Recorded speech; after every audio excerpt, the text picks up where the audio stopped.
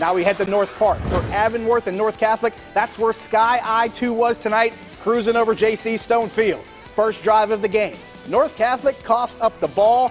Avonworth's Ben Barnes is going to jump on it. Big turnover for the Antelopes. That sets up quarterback Nate Harper. 24 yards to a wide open Luke Neely. It's 7 to nothing Avonworth.